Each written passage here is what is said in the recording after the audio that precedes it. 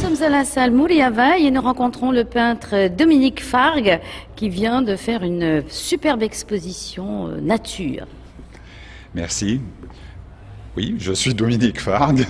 Je sais pas, qu'est-ce que tu, euh, qu'est-ce que tu veux que je dise là? Parce que franchement, tu m'as pas posé de questions. Eh bien, quand on est bon, on sait se vendre. Alors pourquoi est-ce que tu peins la peinture et on ne voit pas de personnage? Cette exposition, elle est orientée euh, sur les paysages. Généralement, je peins des femmes aussi, mais pour cette exposition, je n'ai fait que des paysages. Et tu as déjà exposé ici? Non, c'est la première fois que j'expose à la Maison de la Culture. J'ai peint il y a très longtemps, j'ai exposé il y a très longtemps, il y a plus de 30 ans. Euh, mes tableaux, je les mettais à la Galerie Winkler. Et là, tu as eu donc l'opportunité de- d'exposer ici. Alors moi, je vois certains tableaux, le- les cadres, c'est toi qui les as fait avec du bois flotté, je suppose. Enfin, comment tu fais?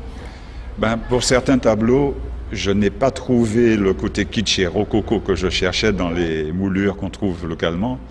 Donc après moult réflexions, euh, je me suis, j'ai eu l'idée de faire avec du bois flotté, d'essayer de faire des cadres rococo et kitsch avec du bois flotté, en les dorant justement pour se donner ce côté euh, n'importe quoi, mais avec euh, le bois flotté faire des motifs. Bah, Tu vois, c'est ce que j'ai remarqué parce que je trouve ça très amusant, justement. Ça rappelle et la nature, mais en même temps, ça donne un petit côté chic.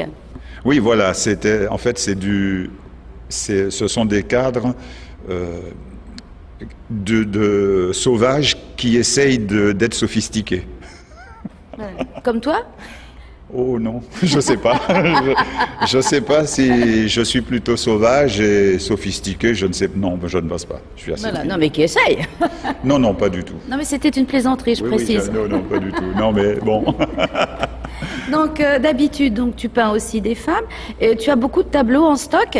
Non, pas du tout, parce que je me suis remis à la peinture depuis euh, trois ans, et c'est le travail de deux ans et demi. Euh, pour la prochaine série, oui, je vais m'attaquer au corps des femmes. C'est très bien. Avec, avec un petit pinceau, je suppose, ou un gros pinceau? De toute taille, les pinceaux. On n'en dira pas plus.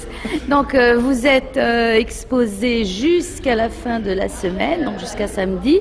On attend encore des visiteurs. On peut acheter tous ces tableaux? Oui, ces tableaux, ben oui, sont, il y a même les prix affichés, donc ces tableaux sont à vendre. On peut les acheter, les réserver.